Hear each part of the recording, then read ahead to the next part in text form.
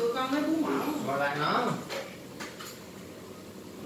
Đâu đang điểm đâu đâu biết đâu. Ủa sao nó gọi em mà nó gọi anh ở trên này luôn nha hay là cô cầm về? Xong chưa? Phủ mày cô cầm về luôn.